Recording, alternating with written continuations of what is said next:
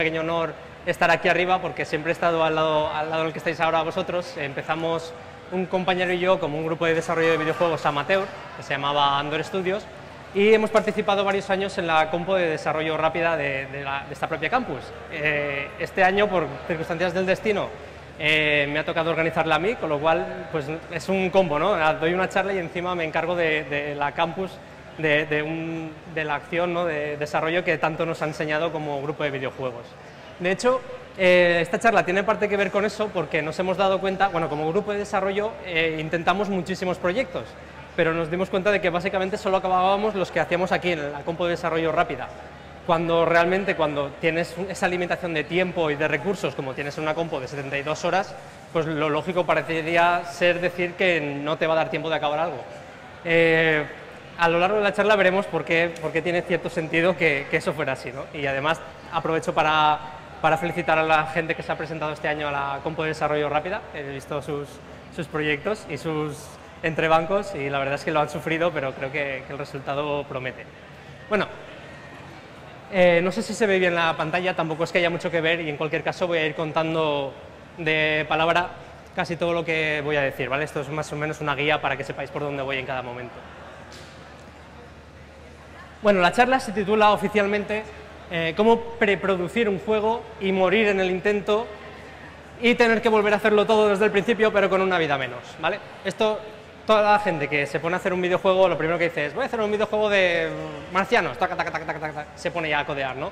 Y luego pasa lo que pasa. Eh, la primera pregunta es, ¿por qué? ¿Por qué hace falta hacer una preproducción de un videojuego?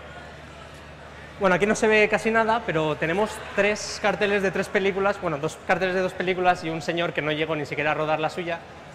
Eh, la primera es Ciudadano Kane, de Orson Welles, creo que todo el mundo la conocerá, o si no debería. La segunda es Apocalypse Now, del señor Francis Ford Coppola. Y el tercero, que no se ve muy bien, es Terry Gilliam en su intento de rodar Don Quijote de la Mancha. Eh, si no conocéis la historia de estas tres películas, eh, estaría bien que fuerais luego a Wikipedia, os hago un pequeño resumen. Eh, por ejemplo, Orson Welles es de la época de los grandes estudios de Hollywood. Allí tenían unos plazos muy marcados de producción, tenían un ritmo muy brutal, tenían que contar hasta el último céntimo de lo que se gastaban. Eh, la época de los grandes estudios se caracterizó sobre todo eh, por la proliferación brutal de películas de serie B, de serie Z, ¿no?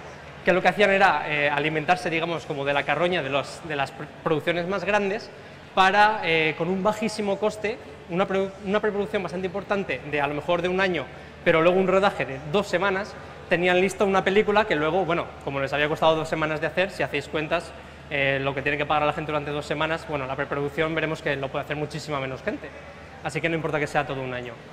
Luego tenemos por el otro lado el señor Francis Ford Coppola, que en Apocalipsis Now, bueno, Ciudadano Kane costó 800.000 dólares, más o menos, fue el exitazo que todo el mundo sabéis, aunque en su momento no vendió mucho, pero se hizo una película de culto. Apocalypse Now, si queréis saber lo que puede pasar cuando Murphy se empiece en alguna película, podéis ver cómo fue el rodaje de Apocalypse Now, ¿vale? Tuvieron todos los problemas del mundo habidos y por haber, comenzando por el tema de que no sabía muy bien el guion este cómo iba a ser.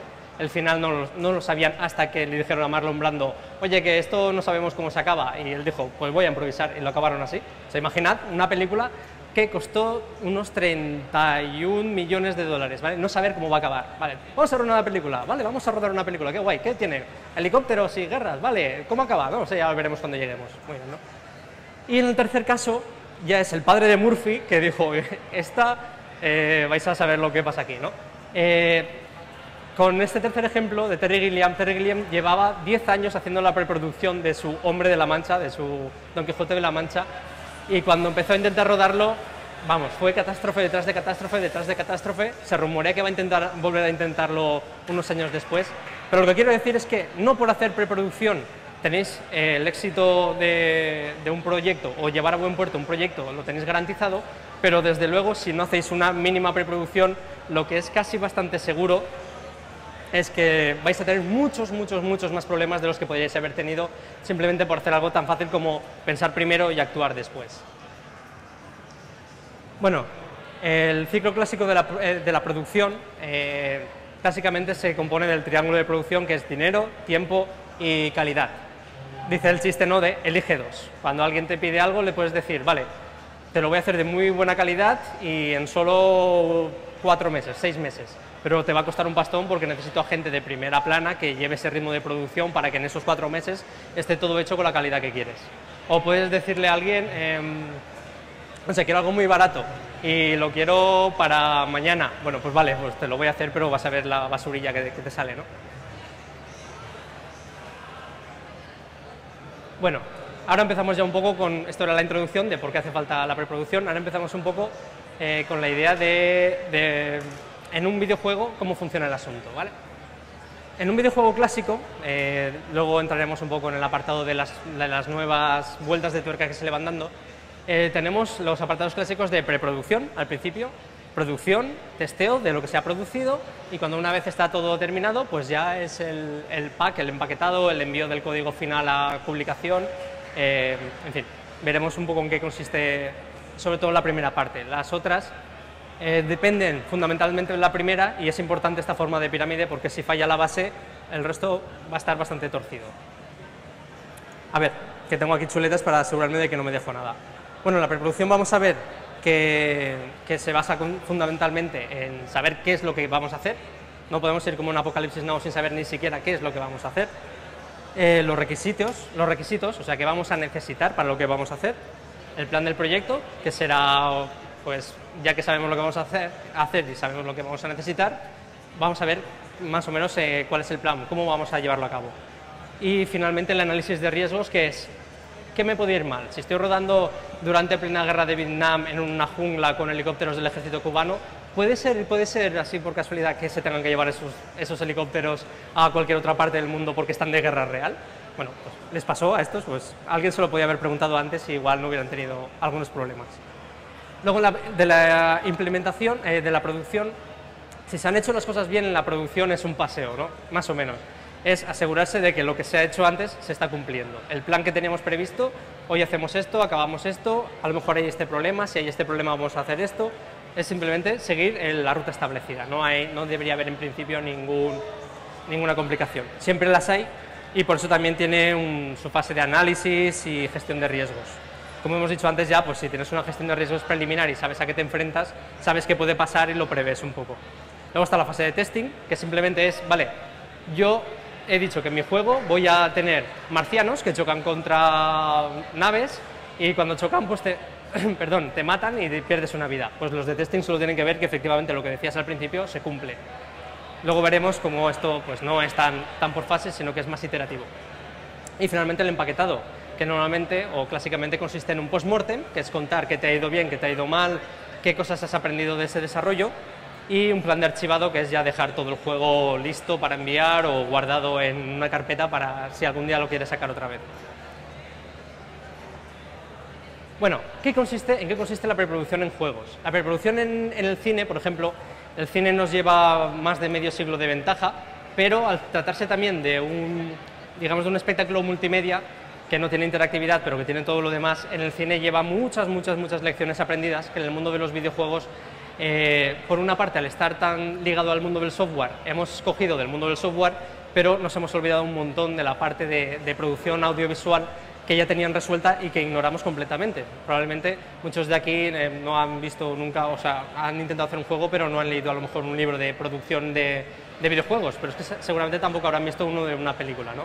Lo normal es que veas en un cómo se hizo lo magnífico y fantástico que fue el rodaje de una película, pero los cómo se hizo son material de marketing que no cuentan de la misa a la mitad y casi todo es mentira, ¿no? Es solo darle más bombo de lo bonito que ha sido todo. Nunca veréis en una entrevista de, cine a nadie decir, sí, pues el director este, la verdad es que cada día se levantaba con una idea y nos tiraba el guion a la basura y nos ponía otro. No, no, yo no he oído al menos ninguno de ellos. Bueno, como he explicado antes, eh, la base, base más básica para hacer un videojuego es saber qué vamos a hacer, ¿no? qué queremos hacer. Eh, la última película que quería hacer eh, Sylvester Stallone llamó a Van Damme y le dijo, eh, que voy a hacer una película. Y el tío le, respondió, vale, ¿de qué va?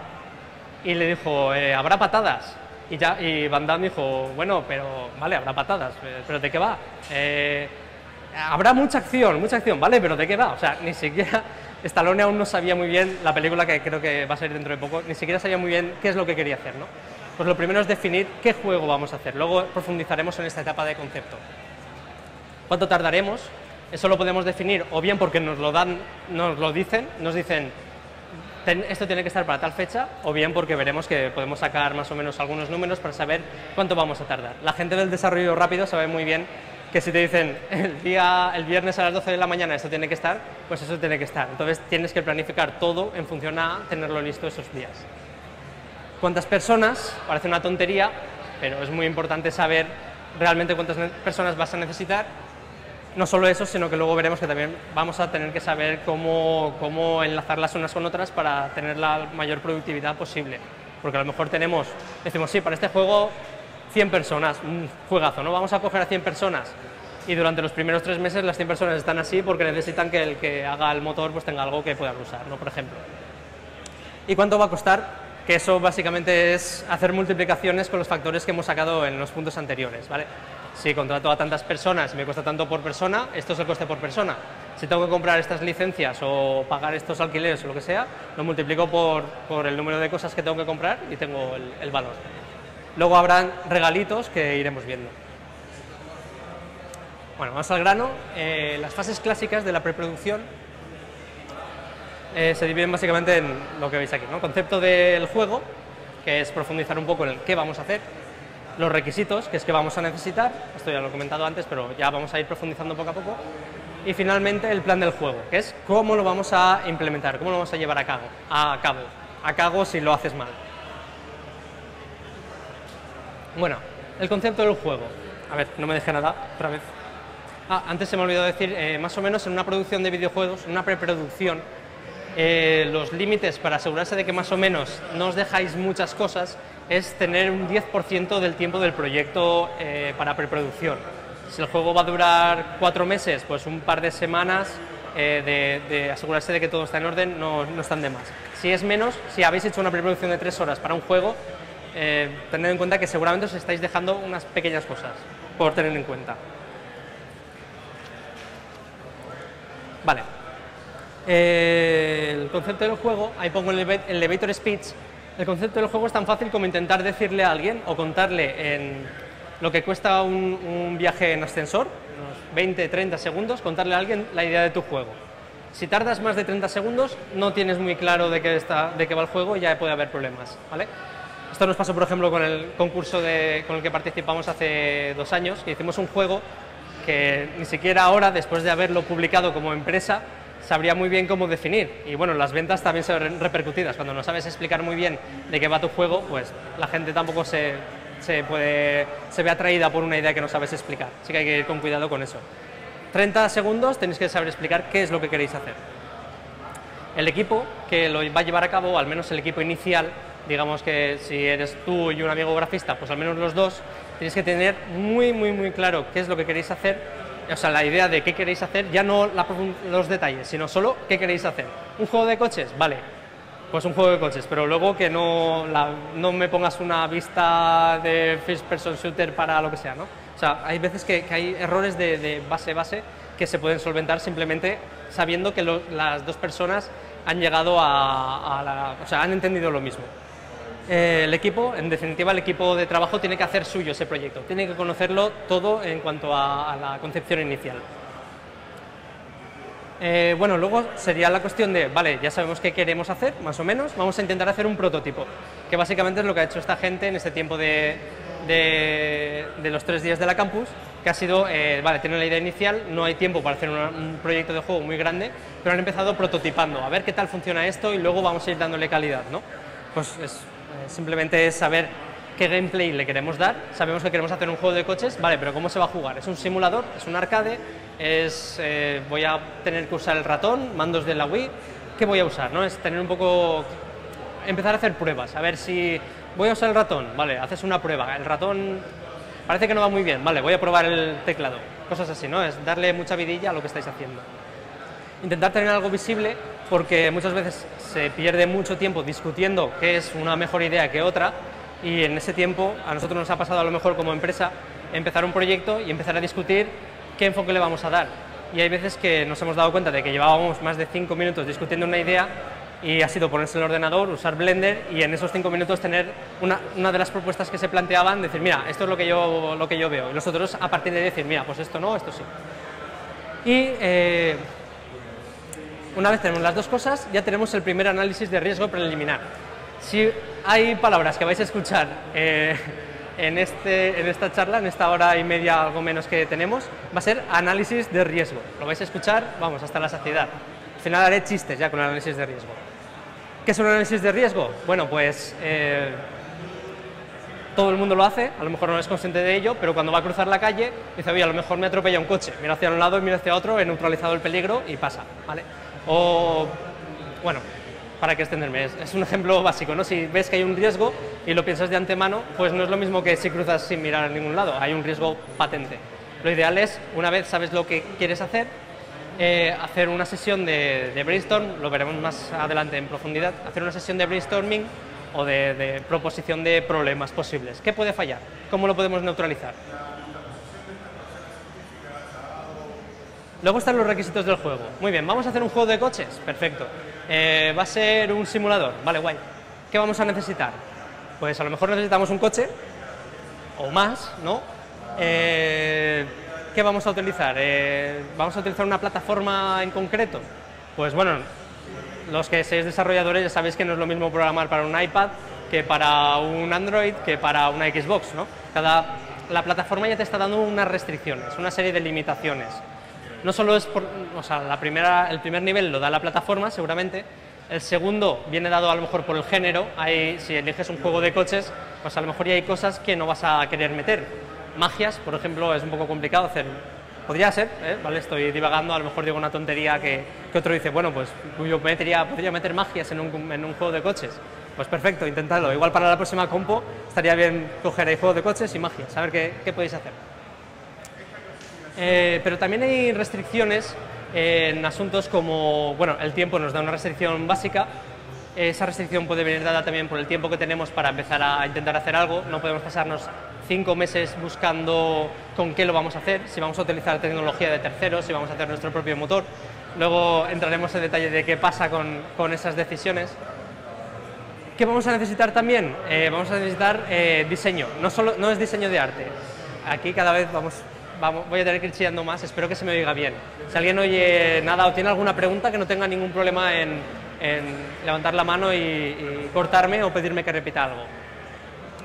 Bueno, el diseño me refiero a diseños de, mecánicas de juego. El diseño de arte, obviamente, viene en el apartado de arte, pero en cuanto a las mecánicas de juego, eh, pues tenemos que saber que es un juego de simulador y que los simuladores pues tienen una serie de mecánicas.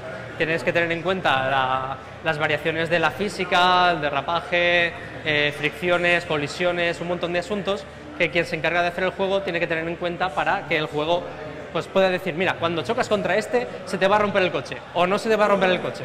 Eso hay que decidirlo, ¿no?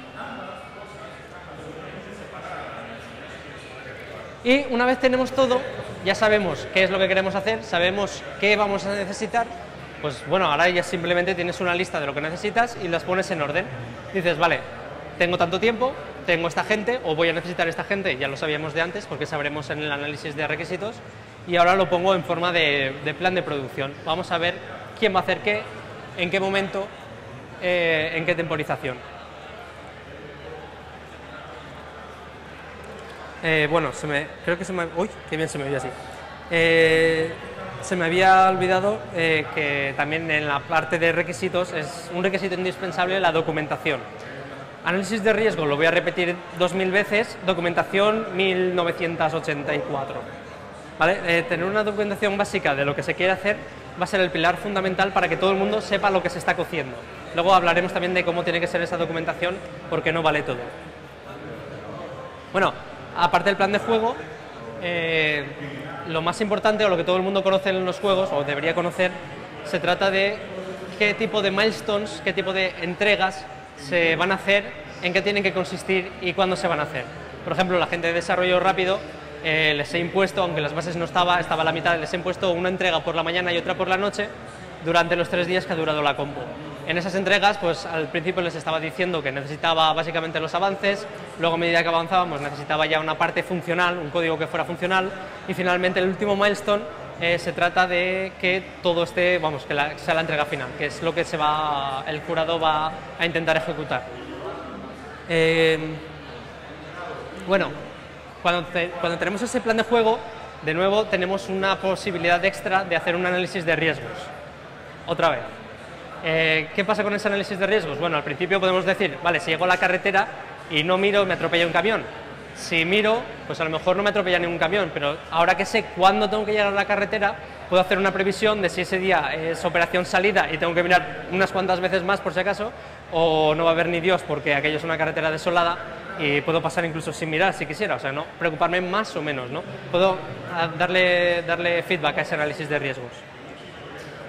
Bueno, normalmente los requisitos de un juego, normalmente para, un, para, un, para una empresa de desarrollo eh, o para la gente del, del concurso, los requisitos del juego te vienen dados más o menos. Te pueden decir, vale, vamos a hacer un juego de esta película, o vamos a hacer un juego con esta otra licencia de lo que sea o vamos a hacer un juego que tenga estas mecánicas.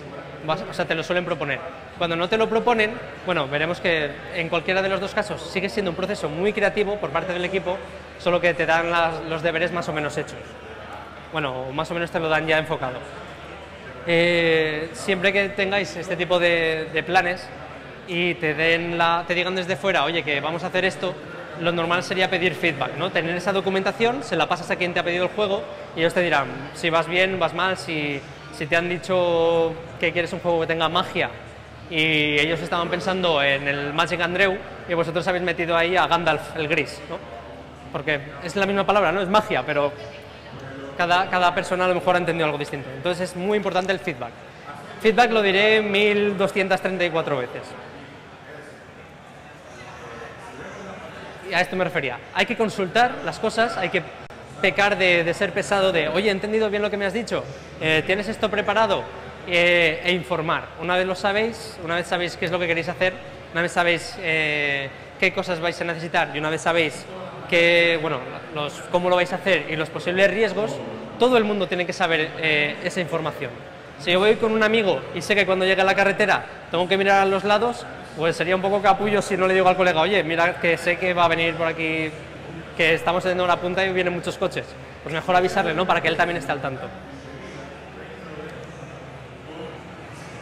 Bueno, análisis de riesgos, número 3. Una vez tenemos todo diseñado, vemos que puede fallar en ese tiempo, eh, informamos a todo el mundo por si acaso a ellos se les ocurren otras cosas o maneras de arreglar, de minimizar esos problemas y vuelve a empezar el flujo.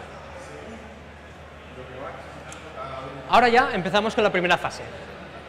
Nos dicen, nos tenemos la, tenemos la, el comienzo del proyecto, ¿vale? Acabamos de montar la empresa y decimos, vamos a hacer nuestro primer juego. Muy bien, ¿de qué? Primer dilema, ¿no? El concepto, el concepto es el concepto, decían en Airbag. ¿Para qué plataforma? Eh, esto puede parecer un poco... Voy a intentar darle iteraciones al asunto, ¿vale? Voy a... Al principio os he dado ya un resumen genérico, pero luego voy a ir dándole profundidad a lo que voy contando hay que definir cosas como plataformas, hay que definir cosas como, bueno, el género, el género sabéis todo el mundo a qué me estoy refiriendo, ¿no? Si es un juego de estrategia, un, rol, un juego de rol, un juego de simulación, eh, puede ser cualquier tipo de, de, género. A ver si tengo algún, algún apartado extra que decir. Bueno, eh, las características clave, si queremos que en un juego tengas magias, pues este juego va a tener las magias, los ataques combo más efectivistas del mercado. Vale, pues tiene que estar, si lo sabemos al principio, pues lo ponemos. El universo del juego se refiere al si es un juego de magia, si es un juego de magia, perdón, ambientado en fantasía medieval, si es un juego ambientado en ciencia ficción. Luego el diseño, el diseño de nuevo no solo me refiero a arte, sino a mecánicas de juego bueno, que está después, o sea, diseño de, arte la estética, que a partir de ahora la llaman estética para no liar diseño con gameplay, que lo llamaré gameplay o mecánicas de juego, con, arte. Eh, y me he pasado ya. Vale. Eh, como decía antes, esto nos lo pueden dar desde fuera, ¿vale? Si, si nos lo dan desde fuera, pues hay poco que decir. Y si nos lo dan desde dentro, lo primero que hay que definir muy bien es quién se va a encargar de pensar qué cosas. Por ejemplo, si yo soy programador y mi colega es artista, más vale que él se, encargue de la estética y yo me encargue de la tecnología. Si lo hacemos al revés o intentamos, digamos, llegar a una especie de votación popular, eh, puede pasar que, aquello acaba en desastre, ¿no? Vamos a dejar que la gente que sabe de algo se encargue de ese algo. Aquí cuando hablo de leads me, refiero a los jefes de programación. Esto está un poco la charla pensada para que está generalmente pensada para un equipo de 20 personas o más. Realmente si tenéis un equipo de 3 personas, lo que digo es, es compactable, pero siguen siendo las mismas fases y es importante que se mantenga un poco la, la jerarquía o la estructura. Si la, el concepto, este brainstorming inicial, se va a llevar a cabo internamente, es imprescindible que el productor, o sea, el que se va a encargar de asegurarse de que todo está en el sitio, el productor puede ser cualquiera de los del equipo, pero por lo menos, por lo menos, debería ser recomendable que no fuera el mismo que el creativo. Eh, no sé cuántos de aquí frecuentan o habéis visto foros de desarrolladores o cuántos de aquí eh, intentado un juego suyo, ¿no? Pero cuando tú dices, voy a hacer un juego y me lo voy a inventar yo, el, foro está plagado de gente que dice, voy a hacer el nuevo Quake, voy a hacer el nuevo eh, WoW, voy a hacer mi propia versión del WoW, pero mejor porque el WoW tiene estos fallos, Todo el mundo conocerá esto. ¿Qué pasa? Que si la persona que se tiene que encargar de hacerlo y la persona que lo piensa son distintas, y por lo menos una de ellas sabe de qué va esto de los videojuegos, una de ellas puede decirle, vale, el WoW ha costado millones de millones de billones, eh, son un equipazo de muchísimas personas y tú aún no sabes poner el Hola Mundo 11. Entonces, igual no lo podemos hacer, ¿no? A lo mejor es mejor empezar por un matamarcianos. Bueno, pues es importante porque cuando es el creativo, esto pasa incluso en grandes, en grandes grupos de videojuegos, ¿vale? En grandes equipos. Si el que es el productivo además es creativo, suele pasar que sus diarreas mentales intenta meterlas sí o sí en el juego y a lo mejor aunque todo el mundo diga, oye, que eso no lo podemos hacer o eso no lo vamos a poder meter, pues a él le da igual porque es el producer, es el que manda, o en teoría tiene que ser el que, el que lleva las riendas y lo quiere meter ahí. Y luego la cosa acaba en desastre, ¿no? Hay, ¿Cuántas veces mucha gente se habrá quejado de, es que mi jefe se ha puesto a hacer las cosas y ni siquiera me ha preguntado si esto se puede hacer? En alguno de los, de, bueno, en alguno de, de los proyectos que he visto por ahí, pues eh, hacían, decían, vale, vamos a hacer un juego para Wii y vamos a, usar el mando de, a lo mejor, eh, usándolo así como cámara de vídeo o lo que sea, y no sabían que a lo mejor las restricciones del mando no permiten hacer ese uso. ¿no? Si no hay alguien que, que controle un poco de lo que se puede o no se puede hacer y que sea otro que te dé las ideas, eh, puede haber problemas.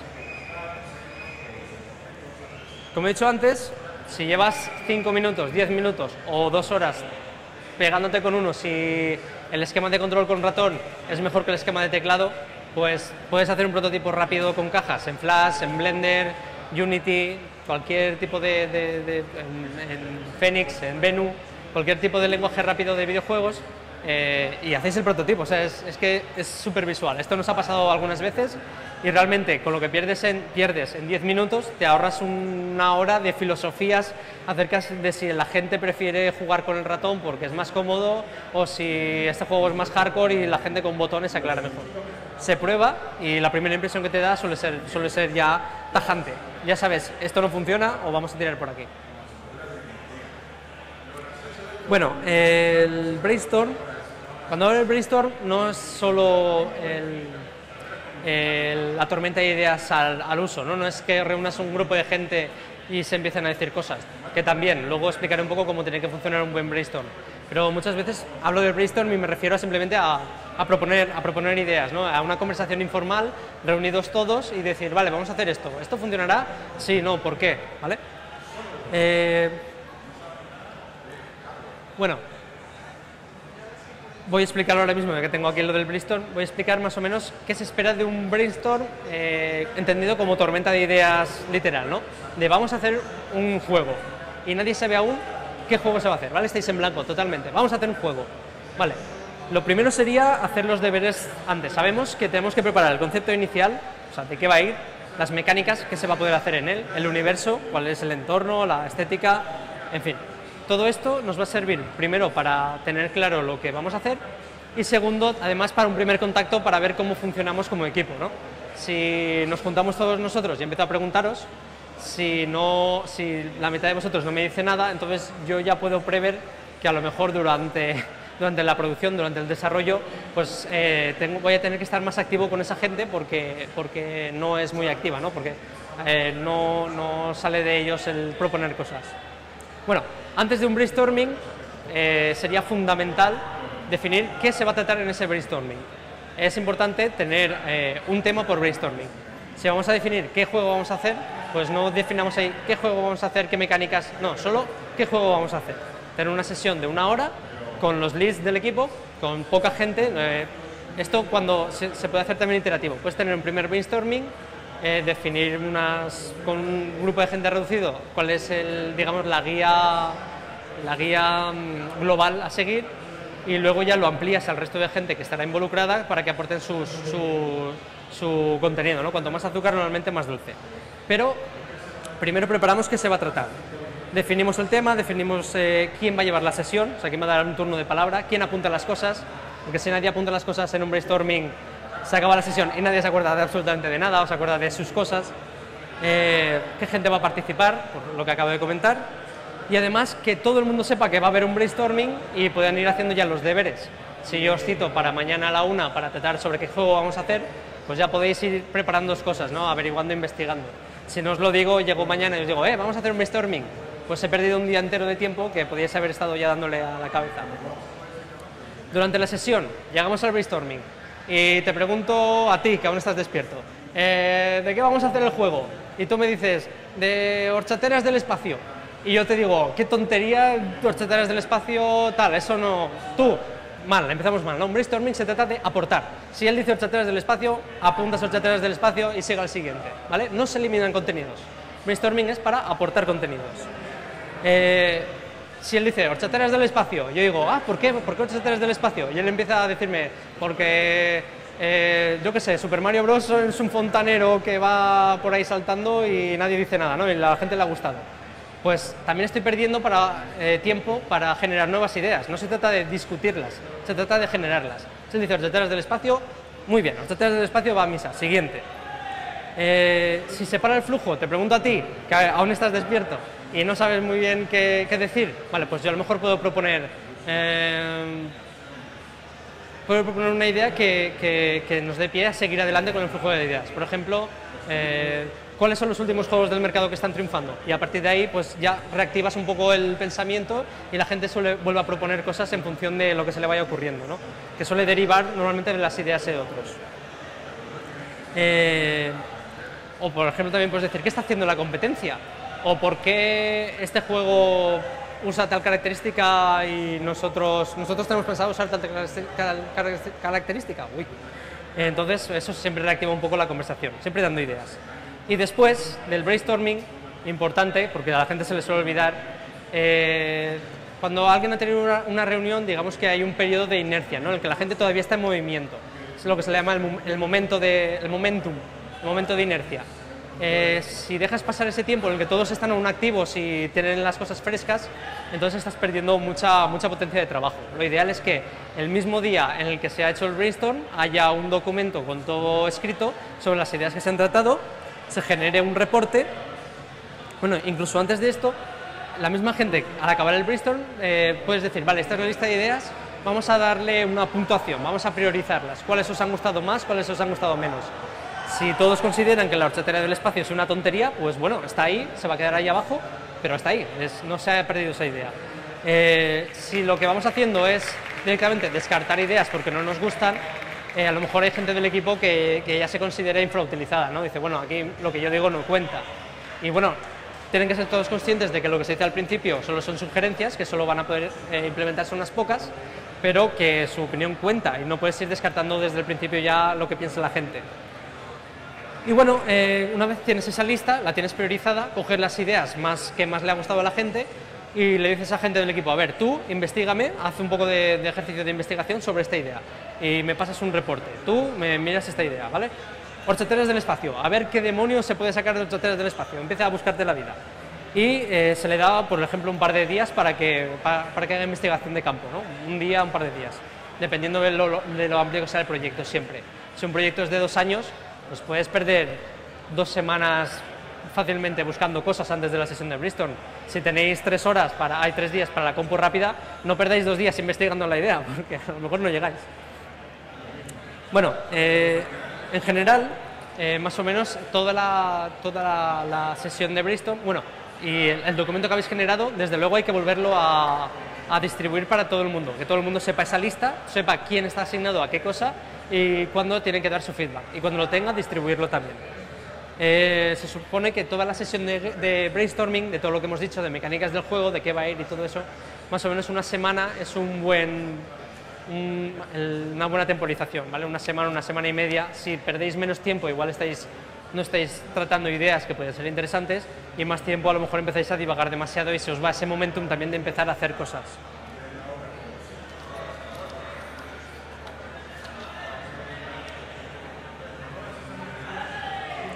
Muy bien. Eh, una vez tenéis eso, eh, llega el momento de, bueno, una vez tenéis las posibles ideas, eh, ya sabéis más o menos, tenéis claro lo que vais a hacer,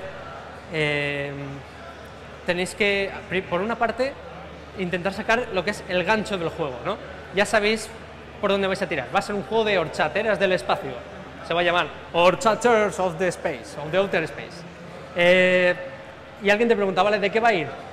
volvemos a lo de antes, ¿no? Te necesitáis en 30 segundos, a ser posible 15 y a ser posible 10, saber explicar de qué va a ir, saber explicar cuál va a ser el gancho que va, que va a traer a la gente. Normalmente ese gancho se formula en, forma de película, de película, de pregunta. Voy a decir, he pensado en película porque he pensado que es lo que hacen muchas películas ¿no? a la hora de poner un tráiler. Pues en este caso sería, ¿a qué inimaginable reto se puede enfrentar una horchatera del espacio en su día a día, en su entrega de horchata día a día, por ejemplo? Bueno, estoy hablando de del espacio y acabo de pensar en que en Futurama son repartidores de, correo de, paquetes postales en el espacio, o sea, no me he ido tanto al fin y al cabo. Y el hook, el gancho de Futurama puede ser el mismo, ¿no? ¿A qué retos se enfrenta al día a día un repartidor espacial? Eh, bueno, eh, una vez tenemos eso, vamos a generar eh, lo que se llama un análisis DAFO, ¿no? de debilidades, amenazas, fortalezas y oportunidades. Esto puede parecer un tostón, pero también nos viene bien para algo que no he comentado aún, que es el análisis de riesgos, es saber eh, en qué estamos fuertes, ¿no? si tenemos un, equipo súper experimentado que hace cosas en multiplataforma, pues está bien tenerlo ahí en la lista. Somos un equipo experimentado, eh, hacemos multiplataforma. Si la idea del juego no se ha visto en la vida, pero es suficientemente familiar como para que la gente no, se, no lo vea como algo súper extraño y sepa, sepa qué atenerse. Em, eh, yo qué sé, eh, tenemos todos los kits de todas las consolas y podemos ir a por todos los, recursos. A lo mejor, eh, las fortalezas y las debilidades son internas, ¿vale? Son de mi propio equipo. ¿Qué es lo que depende única y exclusivamente de mi propio equipo? Pues a lo mejor una debilidad podría ser que no nos ponemos nunca en común, ¿vale? Que hay una falta de liderazgo, que alguien dice algo dicen todos, sí, vale, vamos a hacer esto, y a los dos días ha cambiado de idea, dice, ahora ya no me, parece tan buena idea, ¿y ahora qué? Y van dando volantazos. Pues eso sería una cosa que apuntar en, la parte de debilidades, ¿no? la falta de, liderazgo. Eh, por el contra, las oportunidades y las amenazas vienen dadas eh, externamente. A lo mejor una oportunidad es, por ejemplo, el lanzamiento de una nueva tecnología, sale el iPad, no hay juegos para iPad, parece una buena oportunidad intentar hacer un juego para iPad. Eh, yo qué sé, salen ahora los, dispositivos de control mental, vamos a intentar algo para eso. Eh, a ver, una, esto eran oportunidades, amenazas es lo mismo, es influencias externas contra las que no podemos hacer nada, pero podemos intentar minimizarlas o, sí, minimizarlas eh, sabiendo un poco de antemano qué puede pasar. Por ejemplo, un cambio en política. Sabéis que en Alemania, creo que ha sido en Alemania o, bueno, en Venezuela directamente han prohibido los juegos violentos y no sé si en Alemania también están poniendo muchas restricciones, no recuerdo exactamente en qué países, pero en algunos, en algunos países se están poniendo muchísimas restricciones calificando de casi pornográfico juegos que utilicen violencia. Pues si tu juego eh, estaba centrado en cortar cabezas, pues ir con cuidado, ¿no? Sabéis de antemano que eso va a ser una posible amenaza. Entonces lo apuntáis en la lista.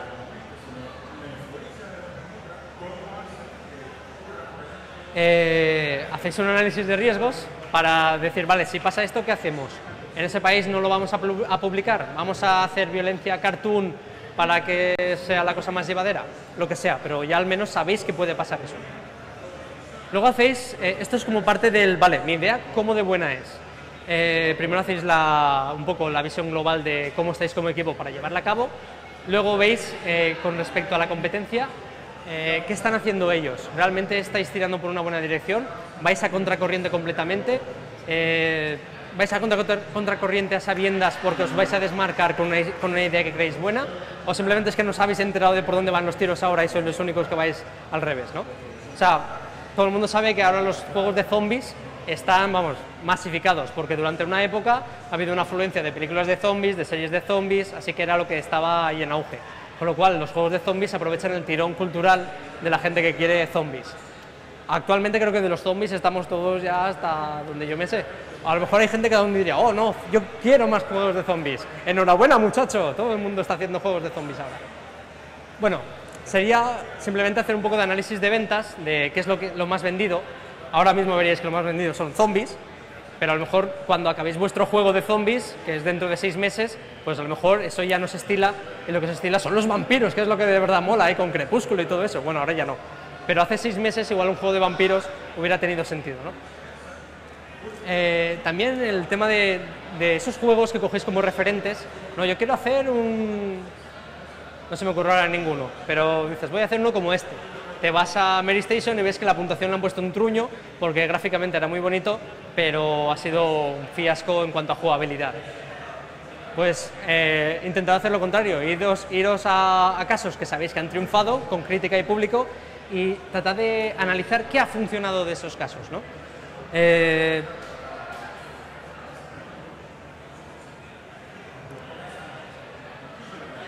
todo lo anterior, si os han dado una propuesta de terceros, viene bien para empaquetarlo en un precioso documento y enviárselo y decirle, esto es mi plan inicial de juego, este es el concepto que yo tengo. ¿Os parece bien? A lo mejor al publisher, o sea, al publisher al que te lo he encargado le parece perfecto, dice, wow, esto, esta idea es genial. Pero se la envías a Nintendo, has hecho ya el juego, ¿no? Lo envías a Nintendo y Nintendo dice, no, es que nosotros no permitimos sexo explícito, por ejemplo, porque tu idea era un juego porno en 3D que lo iba a reventar, pero Nintendo no te lo va a publicar. Primero hay que contactar con todas las partes implicadas para asegurarte de que lo que tú haces no solo es viable internamente, sino que le gusta para que se lo vas a hacer y además lo puedes publicar efectivamente. Todos los que están haciendo juegos para iPhone, iPad y tal, supongo que estaréis saltando de los jaleos que hay con la restricción que han hecho ahora para juegos en Flash o con Unity que no saben aún muy bien cómo va a quedar la cosa. Bueno, pues todo ese tipo de cosas hay que tenerlas en cuenta desde antes no podemos decir, bueno, voy a apostar a porque van a, van a, recapitular y van a dejar meter flash. Bueno, pues mejor no, ¿no? Mejor tenerlo previsto y estar a punto al menos para lanzarse a, otras, a otras plataformas.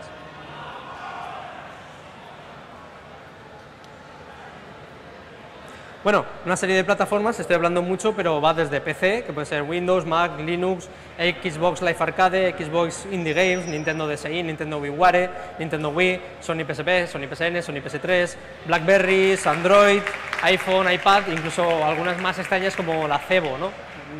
una, consola ya india, creo que, por ahí está causando furor, pero que aquí parece más casi un juguetito.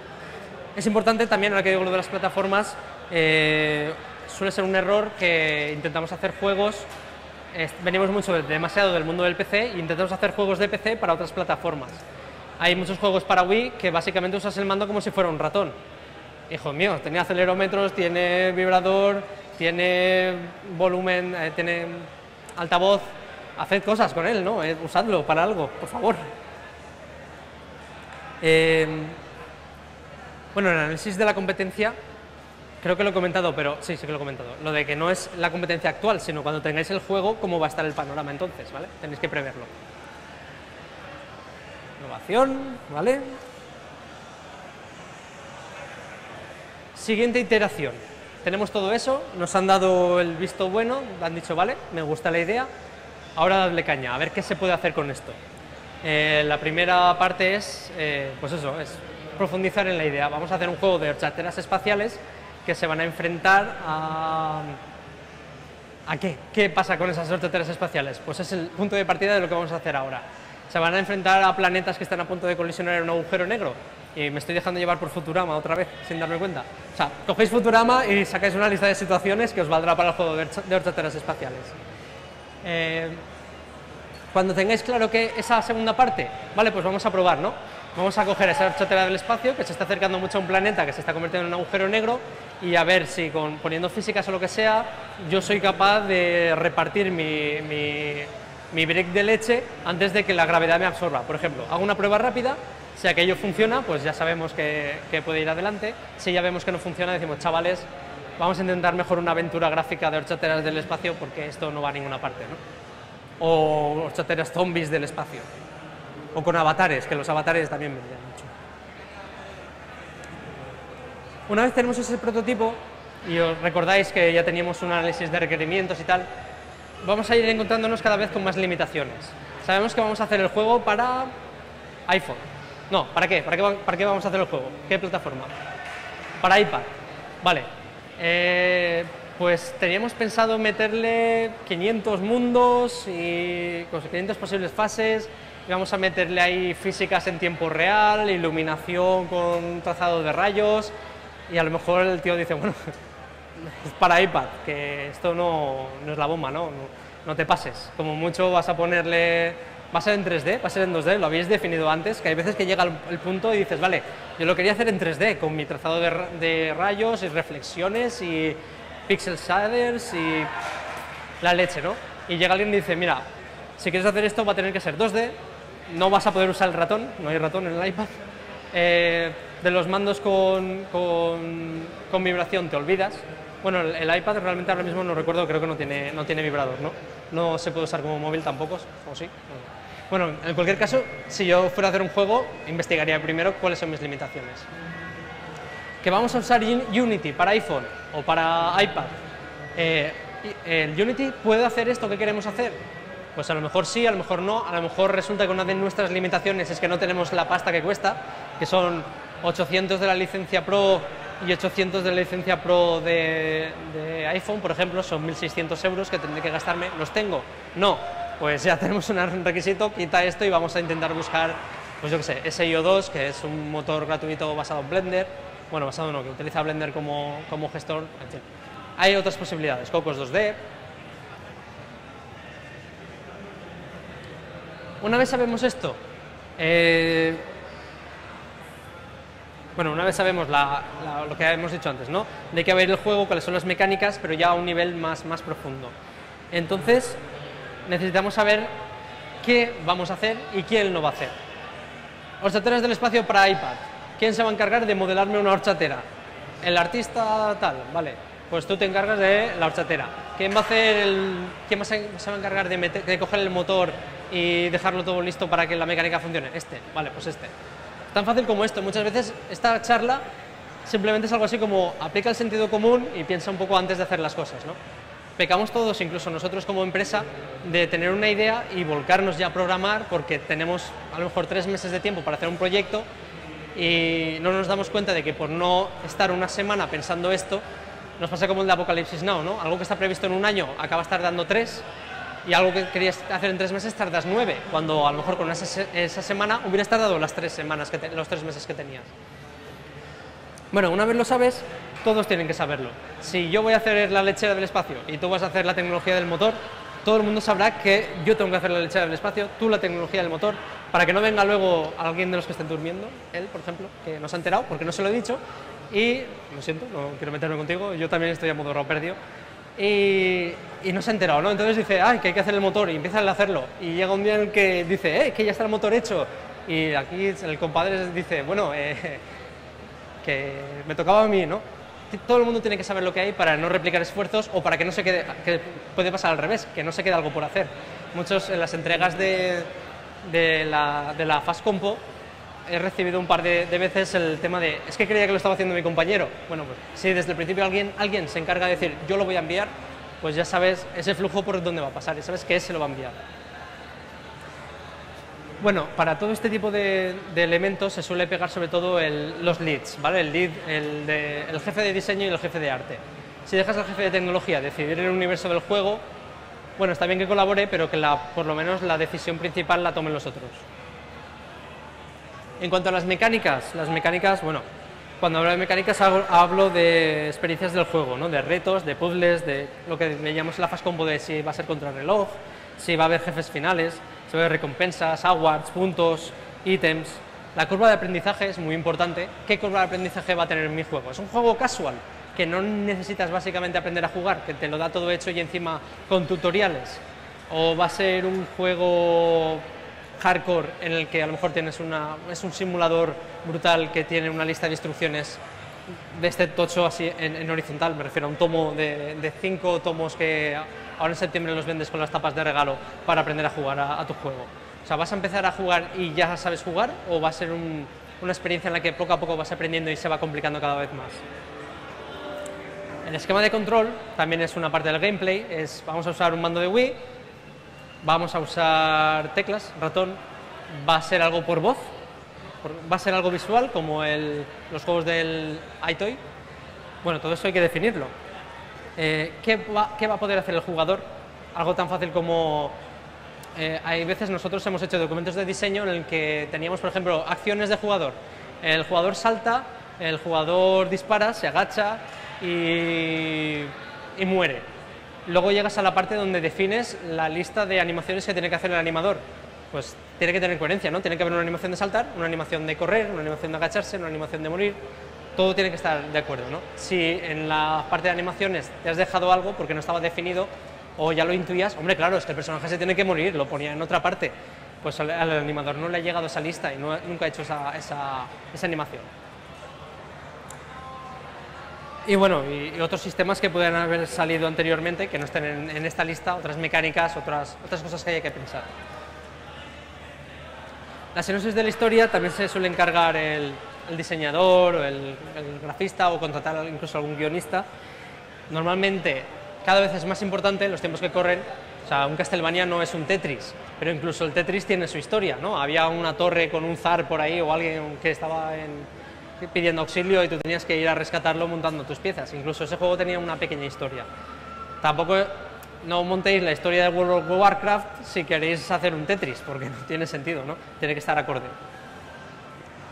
El concept art basta con decir que una imagen vale más que mil palabras, y en general, en todo lo que hagáis, tenéis dos opciones. Hacerlo rupestre para vosotros, con cajas, con incluso papel y lápiz y marcando cosas, o podéis intentar darle un acabado, no voy a decir final, pero sí un acabado muy bueno, que sea algo que podéis presentar y, alguien que lo vea diga, coño, mola, porque muchas veces la impresión es, sí, sí, mira qué mecánica tan chula de juego, pero como tiene cajas, al otro no, no, no le acaba, ¿no? No sé si fue eh, Kojima o alguno de estos grandes japoneses que decía que él, mismo decía que reconocía que necesitaba, cuando le proponían prototipos, que necesitaba verlos prácticamente como si fueran una sección vertical del juego.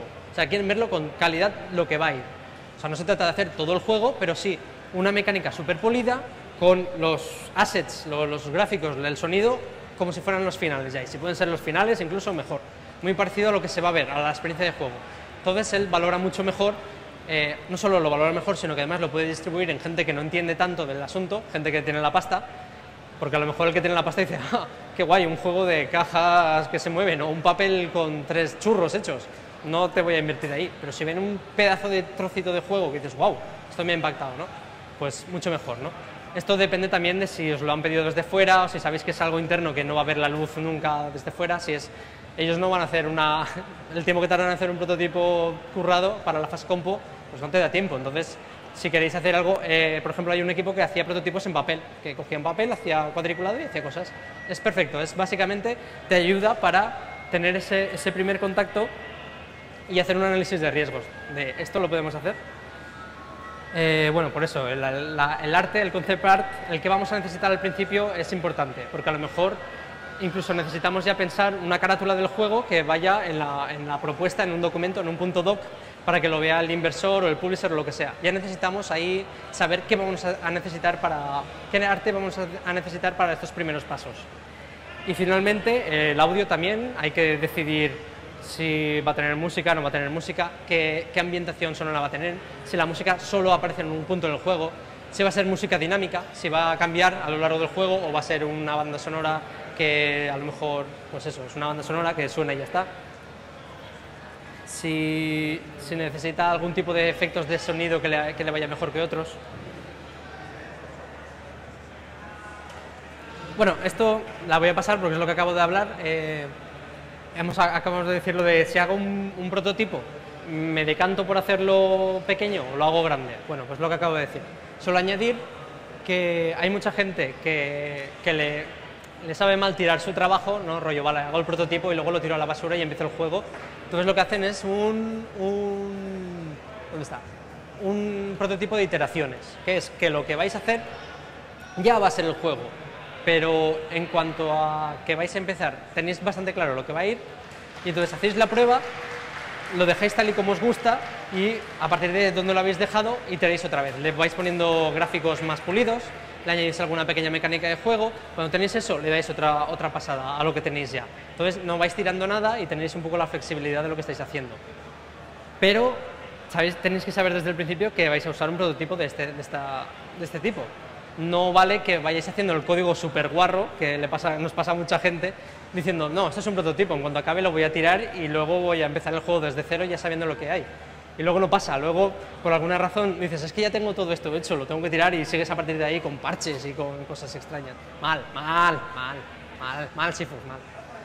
A ver, eh, y lo último que no había comentado antes es que también cuando hagamos un prototipo podemos hacerlo pensando en para qué queremos ese prototipo. Queremos un prototipo para ver qué mecánicas del juego podemos poner, o sea, ¿es algo explorativo para saber qué opciones tenemos o es algo de, vale, voy a poner esta, a ver qué tal queda?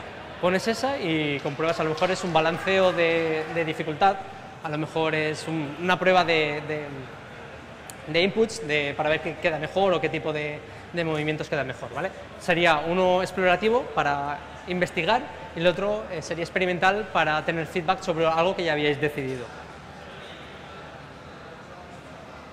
También os puede servir los prototipos para tener una primera prueba del pipeline.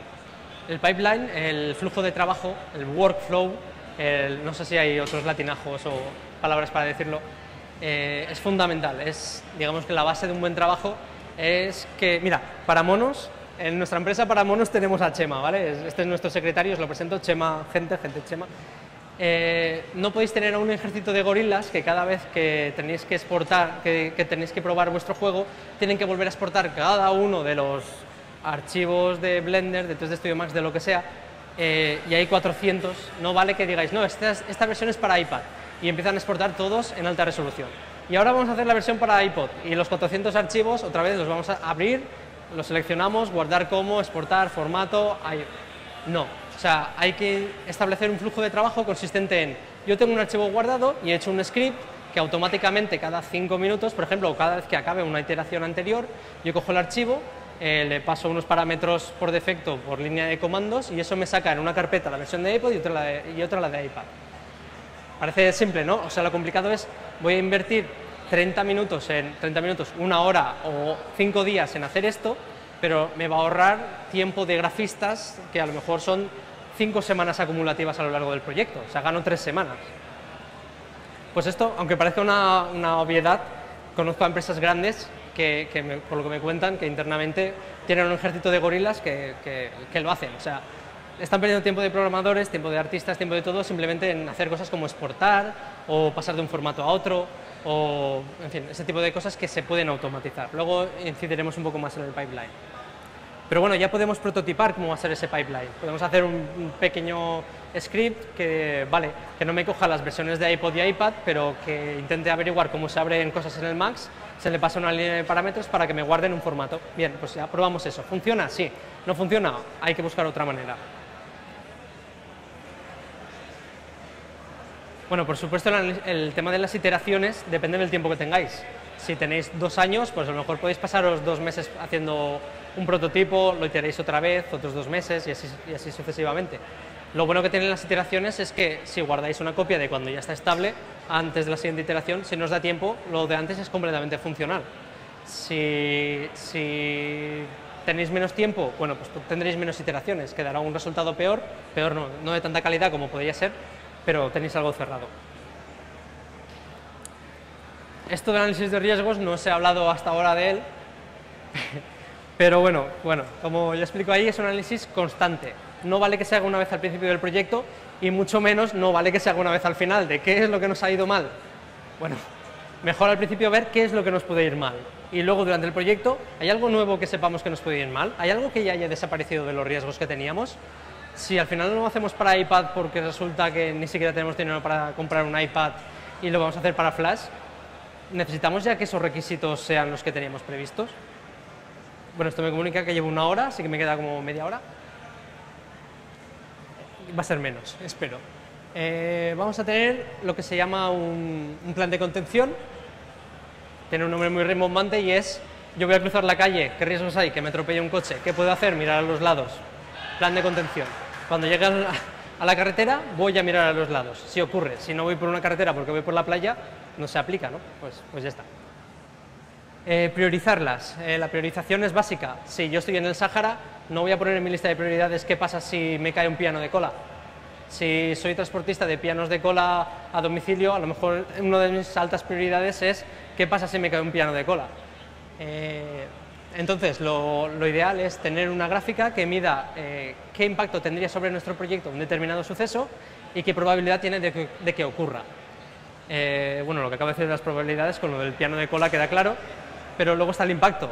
El impacto de un piano de cola es fuerte, sobre todo si te cae encima, te mata. O sea, si hay alguna, algún riesgo que puede tumbar tu proyecto, aunque sea improbable, pero sobre todo si es probable, hay que, volcarse en él, hay que controlarlo desde el primer día.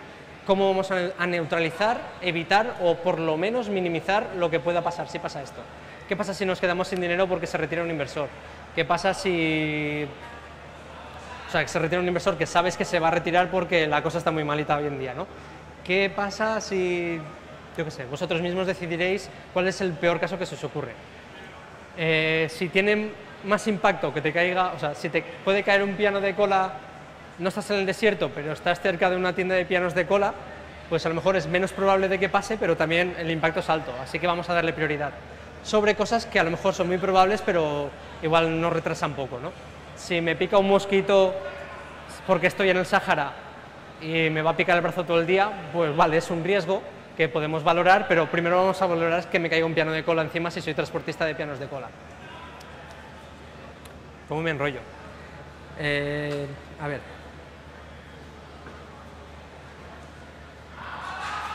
Vale no solo esto en primera instancia es responsabilidad del productor. Es el productor el que al principio o desde el principio tiene que ir haciendo esa lista, sentarse y discutirla con todos, pero luego es responsabilidad de todos el tenerla activa, ¿no? Es lo que acabo de comentar. Si vas con un amigo, dile, oye, que en esta carretera hay coches, cuidado.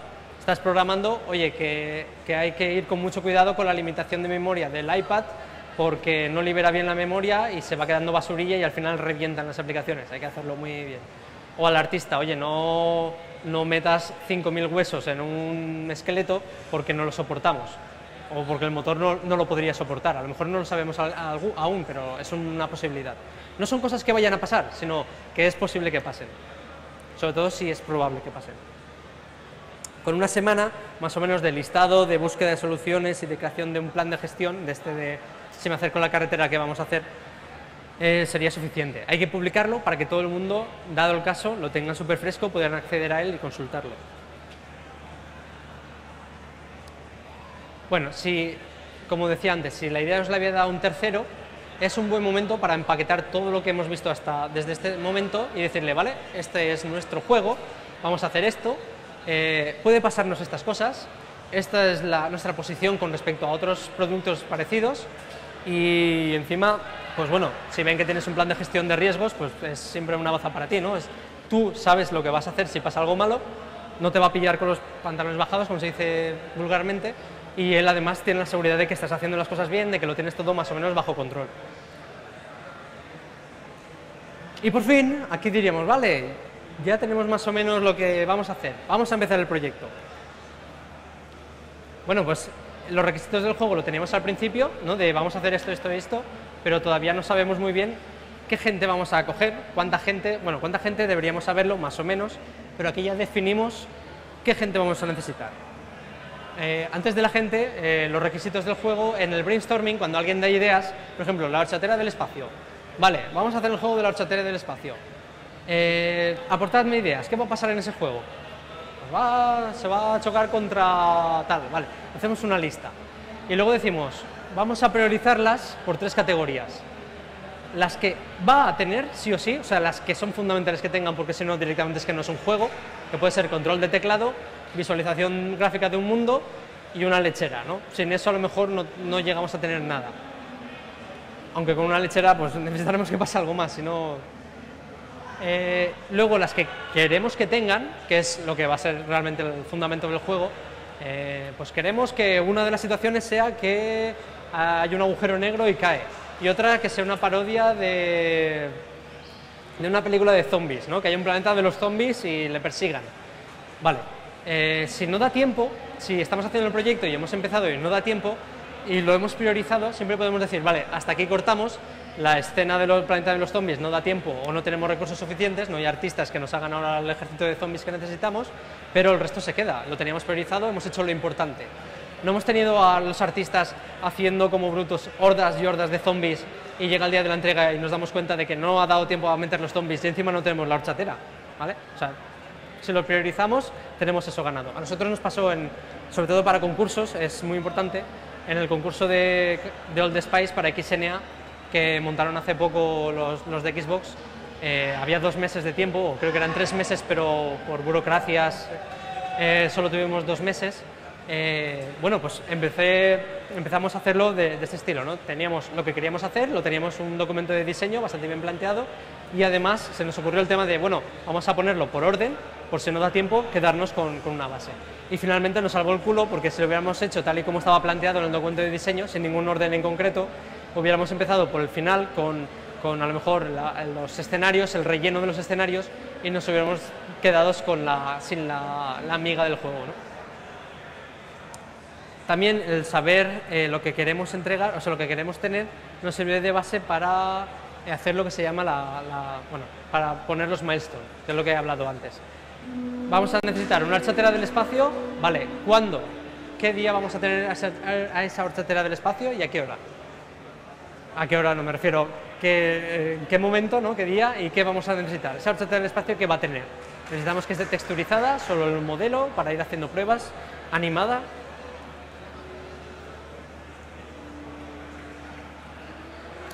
Bueno, como decía antes, el tema de los milestones eh, es proporcional al proyecto. Si tienes un desarrollo de dos años, pues poner un milestone cada semana va a fastidiar muchísimo a los, desarrolladores porque van a estar más, más implicados, eh, más ocupados en hacer burocracia que en hacer lo que realmente tienen que hacer. Pero para competiciones muy rápidas, pues por ejemplo una vez, dos veces al día no era nada descabellado, sobre todo cuando no se esperaba ninguna entrega muy, muy estricta. En todo gran juego, o en todo juego de los normales, se suelen definir unas etapas eh, más o menos estándar, que es cuando, sobre todo si te lo piden terceros, cuando tienes algo ya visible, ¿vale? El primer momento en el que dices, vale, ya puedo hacer algo, que en el caso de la Fast Combo fue el segundo día, por ejemplo. Eh, luego, cuando tienes el alfa, bueno, depende del lugar, la nomenclatura la cambian, ¿vale? A lo mejor para algunos eh, el alfa es ya el final, y las anteriores son, pues la beta es la anterior al alfa, como por ejemplo en, bueno, no sé si ahora mismo en StarCraft la beta es la que sale antes del alfa o había una alfa y luego una beta. Pero normalmente, o la mayor parte de, ocasiones, se suele llamar el alfa, es el, el, prototipo principal acabado, donde el código está casi completo, la funcionalidad básica, la funcionalidad final está casi completa, pero aún faltan gráficos, aún faltan audios, aún faltan las traducciones, Luego hay una fase intermedia de congelación de código, donde el código solo es para tocar bugs y añadir las últimas funcionalidades. Luego viene la beta, que es ya tenemos todo el código, ya tenemos todos los, gráficos y solo falta eh, pues hacerle el testeo de calidad, corregir pequeños bugs y así llegamos a la release candidate, que es cuando ya tenemos todo el pack y a lo mejor si es para Wii, entonces lo enviamos a Nintendo, Nintendo hará sus propios chequeos y dirá, vale, este, este es un candidato a la venta. ¿Es bueno? Sí pues eso es lo que se llama ya el Master Gold, el, disco de oro que va a ser publicado. En el tema de, autopublicación para juegos independientes, pues por ejemplo, estas fases se, colapsan un poco. Hay otro tipo de juegos en los que no hay un final como tal del juego, porque hay a base de updates como comunidades online, que simplemente es iterar, iterar, actualizar, mantener, no hay que hacer nada más. Entonces, estás todo el rato, digamos, dejando master goals cerradas, pero luego haces otras pequeñas iteraciones de alfas y betas, ¿no? Haces código, cuando eso ya está estable, modificas el anterior con, eh, con el bueno. Pero siempre es lo mismo, ¿eh? Si estáis en el release candidate, no digáis, hosti, que se me ha olvidado meter la funcionalidad del agujero negro. Ahí no, toque, se os ocurra tocar nada. Y también os digo que en las grandes compañías pasa que, que incluso la semana antes de enviarlo a Nintendo se están haciendo cosas, aún se está cambiando el código con cosas importantes que puede dar errores. Claro, luego llega Nintendo y dice, aquí hay un bug, pues te toca esperarte otras tres semanas a que aquello vaya adelante. ¿no? Em, normalmente en tema de consolas suelen tardar un mes aproximadamente, dos, tres semanas en, hacer el, testeo de calidad de este tipo de cosas. Así que hay que tenerlo previsto también en la planificación, que no es que lo acabes y el juego sale, acabas y a lo mejor Nintendo tarda un mes, te lo devuelve Nintendo y encima a lo mejor te lo devuelve con bugs para que lo arregles y vuelvas a estar otro mes hasta que te vuelvan a dar. Eso hay que preverlo también en el análisis, de riesgos. ¿Qué pasa si el código no está, no está correcto desde el principio? Eh, como veremos también más adelante, eh, no solo hay que hacer un testeo al final, lo suyo es que hayan ciclos pequeños de preproducción de una pequeña fase, producción de esa fase, testeo de esa fase eh, y siguiente iteración. ¿no? Como gente, la gente conocerá flujos de metodologías de desarrollo ágil que se basa en eso, en pequeños ciclos.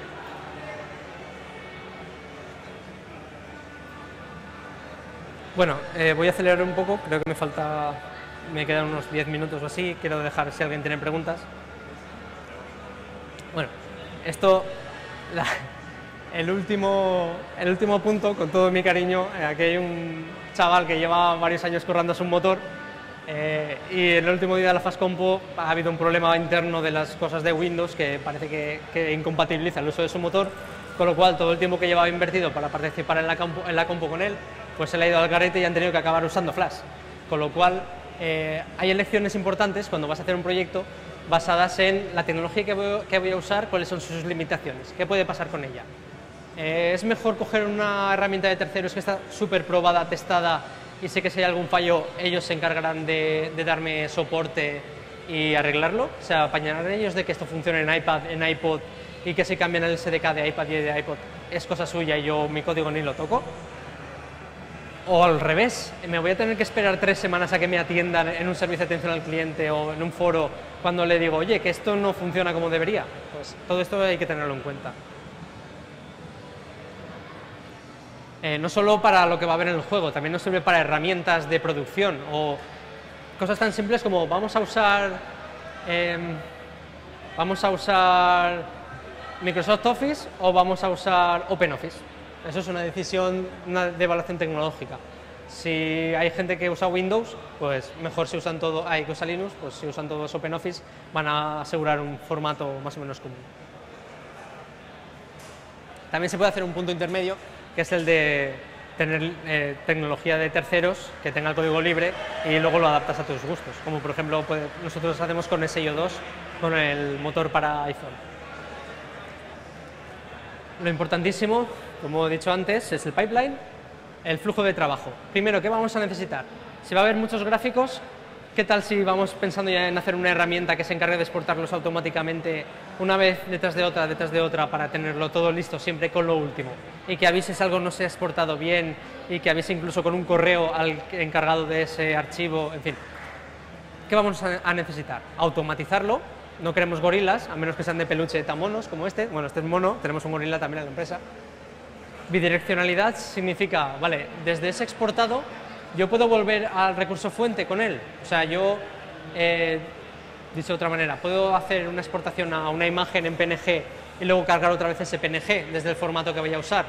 Si es bidireccional es mucho mejor porque siempre es más ágil ver cómo queda en el juego y si hay que retocar algo, pues ya tienes lo del juego exportado con, con las transformaciones que le tenga que aplicar el juego. Porque luego siempre te puedes llevar sorpresas hay demasiadas capas de de exportado, de, flujo de trabajo. Hay que mantener el flujo de trabajo lo más eh, pequeño posible, libre de bugs. No vale descubrir un bug el último día de que me estaba poniendo todos los, los vértices con enteros en vez de como flotantes, por ejemplo.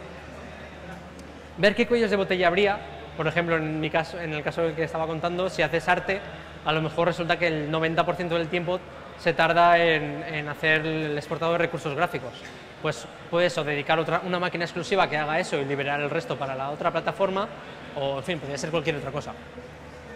Eh, la disponibilidad, que es que todo el mundo sepa cómo funcionan las cosas, eh, creo que me refería a eso al menos. Sí. Eh, además, no solo de cómo funcionan las cosas, sino cuándo necesitas que esté hecha esa herramienta. a lo mejor el exportador de gráficos no necesita que exporte ya todo el esqueleto, me basta con exportar el gráfico para ver que funciona en el juego y como no hay animaciones, pues ni siquiera necesito el esqueleto aún. A lo mejor dentro de dos meses necesitaré que esa herramienta esté hecha con animaciones. Pues vale, pues se puede planificar para que en ese, en ese tiempo el programador haya hecho solo eso, porque está priorizado, y poco a poco ya vaya haciendo el resto. Y al seguimiento me refiero a herramientas de traqueo de, de Subversion, lo conocéis todos, eh, herramientas de, de, gestión de código, herramientas de gestión de, de bugs, bug trackers, eh, como Mantis, por ejemplo, es una buena elección. Eh,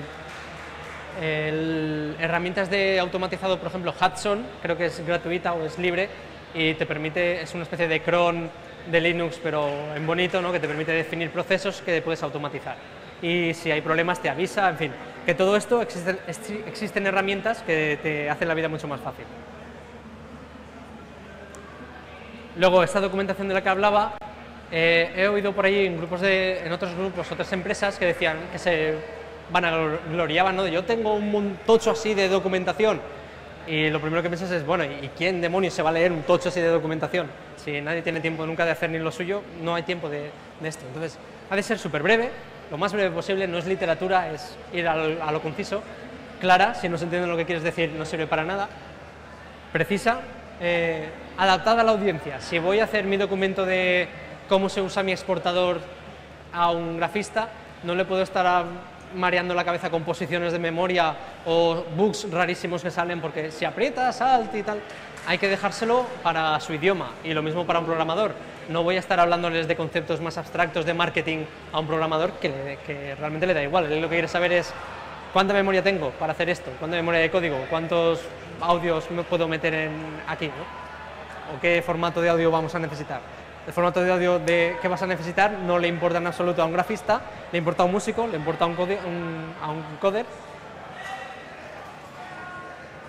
Y además, bueno, si no está actualizada, y con esto también hay que ir con cuidado porque tiene que estar actualizada y todo el mundo tiene que saber en ese momento que se ha actualizado y dónde, o sea, marcar de alguna manera, esta versión tiene de nuevo esta sección, esta sección, esta sección. Si esto empieza a convertirse en una cosa gigante enormica, es mejor tirarlo a la basura porque vais a perder más tiempo implementando cosas que a lo mejor están obsoletas que, haciendo las cosas bien, ¿no? A lo mejor vale más la pena preguntar directamente al que se encarga, oye, aquí esto cómo va, y que te lo cuente, que llevar esto mal. O sea, esto si se hace, tiene que estar claro que es muy estricto su uso y que todo el mundo tiene que estar al tanto. Si se ha modificado, todos tienen que saberlo. Esto es lo que estaba explicando, cada sección tiene su propio documento de diseño, de tecnología, lo que sea. Y una vez tienes todo eso, entonces puedes revisar a ver si había algún tipo de posible problema que no habías contado, que a lo mejor el jefe de programación, esto lo vamos a entregar en septiembre y resulta que en agosto él se va a coger vacaciones.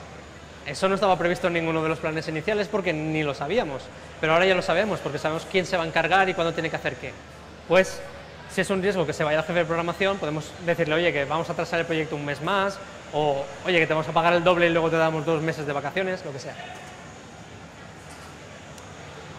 Casi acabamos ya. Eh, una vez tenemos listo todo esto, eh, hay que ponerlo en orden, hay que hacer una lista con eh, qué cosas requieren que, haya, que antes haya hecho qué cosas, cuándo se tienen que hacer esas cosas, ya que sabemos las dependencias. O sea, primero sabemos que si yo no tengo el motor hecho, aunque tú tengas todos los gráficos hechos, no hay juego porque no vamos a ver nada. Si yo no tengo la animación hecha, no hace falta que te molestes en hacer animaciones, que no hace falta que tengas el sistema de animaciones que no lo vas a poder probar. O sea, hay que ir un poco a la par, ¿no? Eh, tener organizado, saber qué va antes de qué y tener primero esa organización de dependencias hecha. Luego coges un calendario y lo pones en el tiempo. Les preguntas a ellos, a la gente que lo va a hacer, ¿cuánto vas a tardar en hacer esto?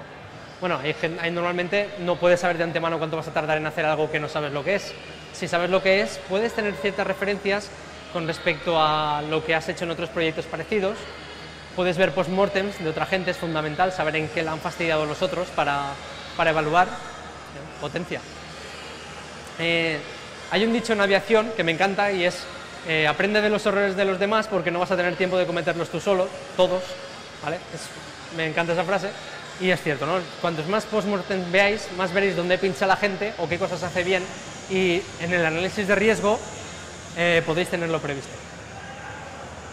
Eh, los presupuestos, pues obviamente tenéis que tener, una vez sabéis el personal, sabéis cuánto, qué cosas tenéis que comprar, o eso incluye hardware, software, licencias de, otro tipo de programas, eh, pagos de alquileres, pagos de luz, rentas de lo que sea, compras de licencias, de IPs, yo qué sé, todo, todo, todo lo que se tenga que comprar tiene que estar en el recurso y esto me indica que ya voy fuera de tiempo, así que acelero un poco. Bueno, el personal outsourcing y middleware pasa un poco como con lo que he dicho antes, ¿no? Es, el dilema solo es, ¿lo compro o lo, alquilo? O sea, ¿lo compro o lo, subcontrato? Si un equipo de gráficos me va a hacer lo que yo quiero hacer más rápido, a lo mejor es más caro, pero si es más rápido, a lo mejor me compensa el precio que tendría yo que pagar a, a mi gente para hacerlo. Y sobre todo, si tienen experiencia porque se dedican a eso y lo van a hacer mejor, pues no voy a contratar yo a cinco grafistas para que hagan lo que hace una empresa con mucho menos coste, o con el mismo coste y más calidad, o con, bueno, en fin, ya veis las, las, combinaciones. Más o menos eh, son interdependientes, ¿vale? Eh, si yo quiero meter más features, voy a tener el calendario más apretado, o si lo hago el mismo calendario, voy a necesitar más recursos, o si tengo esos recursos, la calidad va a ser una chufa. O sea, está todo balanceado, es, parecido a la primera que os había enseñado y es, similar. De los calendarios podría hacer solo una charla solo de calendarios, pero si ya tengo durmiendo la mitad, aquí me dormiría hasta yo dándola. Son frustrantes, eh, lo mejor es ir a mini milestones, por eso funcionan las fast compo, porque no tienes, tienes tan poco tiempo que dices, vale, solo voy a hacer esto, esto y esto, y puedes controlarlos porque solo hay tres cosas que te da tiempo a hacer y solo sois tres personas, con lo cual es fantástico para controlar. ¿Has hecho esto? Sí o no. Vale, siguiente. Eh, bueno, lo que he hablado de referencias, el criterio de salida lo que nos dice es cuándo vamos a dar por hecho algo. Si yo hago la lechera del espacio, la horchata del espacio, eh, ¿me vale que esté sin textura? A lo mejor para la primera etapa sí. El criterio de salida es, tengo modelada una lechera sin textura. Vale, eso en el calendario diríamos, está hecho, siguiente. Si en la fase 40 dice, tengo que tener a la lechera con los pelos moviéndose al viento y no está, pues el criterio de salida es fácil, si no está hecho, pues no está hecho. Tienes que tener la lechera con esos criterios para darle, darle salida. Tiene que estar en presente, es la lechera tiene los pelos andando al viento, ¿sí o no? Fácil. Vale, si tenéis que dejar margen, hay mucha gente que lo que hace es dejar micro márgenes en las distintas etapas, rollo para tener colchón entre medias y luego más o menos en la fecha final se aguanta eso distorsiona un poco saber cuánto ha costado de verdad las cosas. Luego en el post-mortem es más difícil de averiguar si realmente te costó un mes hacer el motor o si te costó tres semanas y dos días. ¿no? Si dejas solo el margen al final, dices, vale, yo voy a hacer esto en estas fechas y luego voy a tener un mes y medio, dos meses, tres meses, una semana de margen al final para recuperar posibles desviaciones. Entonces sabes exactamente que, lo que te costó cada cosa, porque ya no ha habido márgenes ni nada, sabes dónde ha empezado y dónde ha acabado cada cosa y luego para posibles siguientes proyectos lo tienes mejor cronometrado.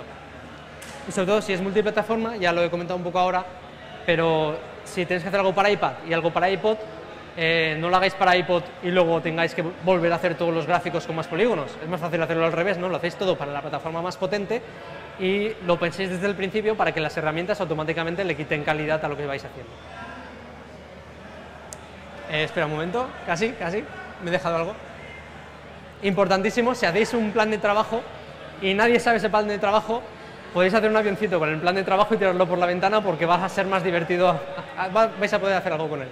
No conocerlo, si la gente no lo sabe, si no lo tenéis, es lo mismo.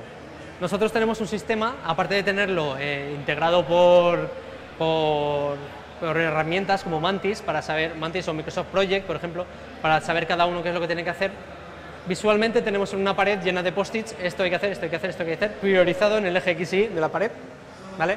De tiempo y prioridad. Entonces, con los colores de los post-its vamos poniendo quién le toca cada cosa, por ejemplo, o si estamos esperando feedback de alguien, o si hay interrelaciones, en fin. Es muy visual porque estás programando, te giras y ya está, no tienes que ver, no hay una pantalla enorme donde puedes verlo todo a la vez. Ahí tienes la pared, lo ves en global y ayuda un montón. Recordatorio, si tenéis un milestone la semana que viene, que todo el mundo sepa que la semana que viene hay un milestone.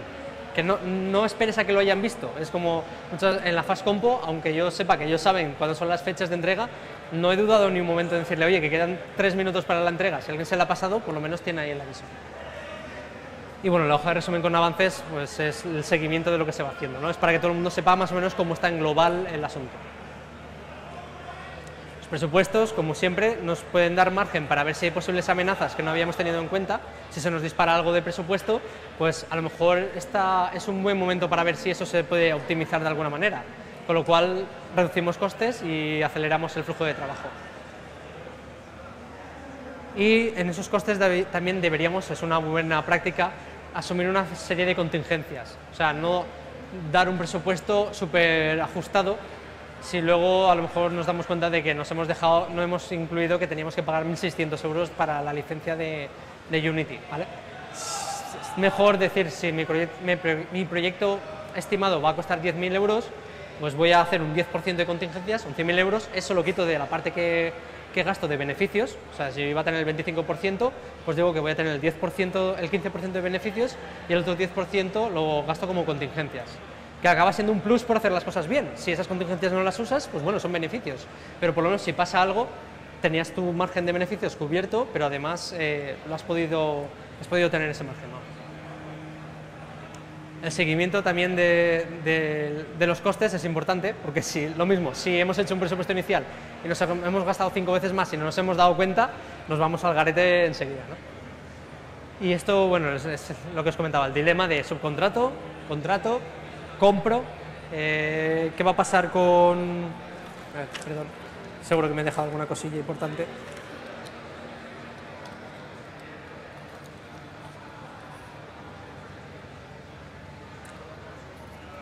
Muy bien, en la parte de, gastos no solo es lo que tienes que pagar, es cómo cobra la gente, ¿vale?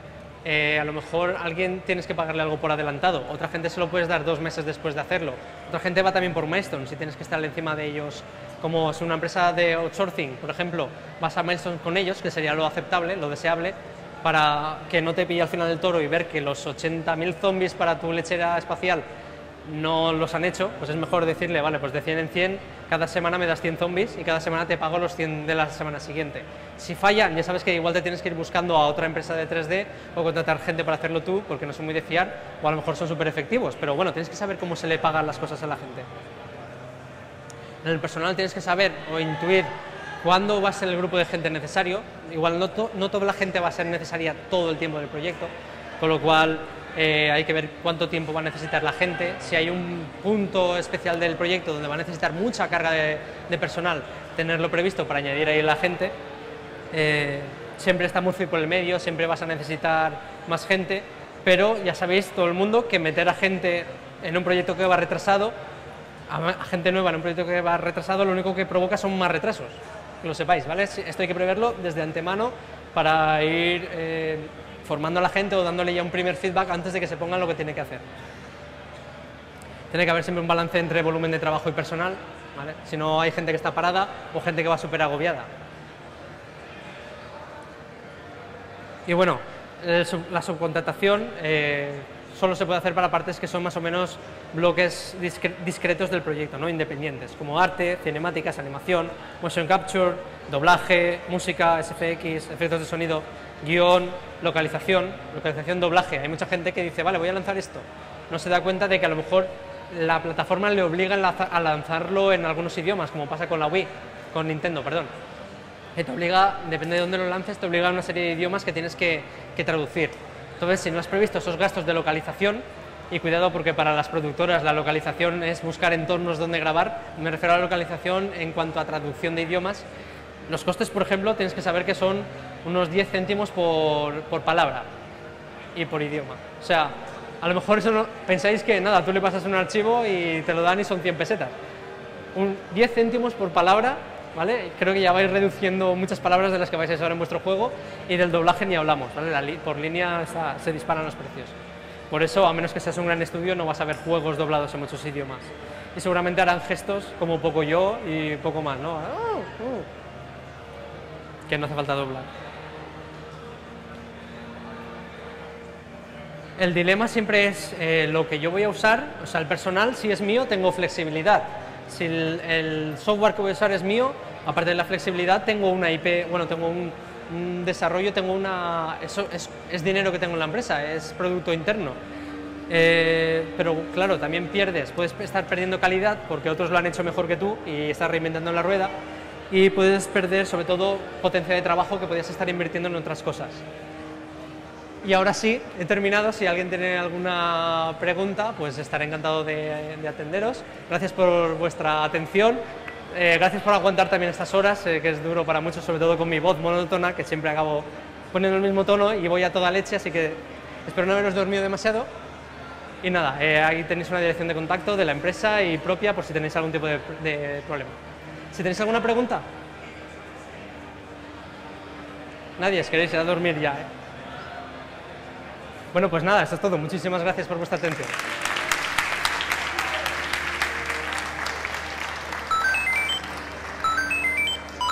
Se me había olvidado hacer ruiditos con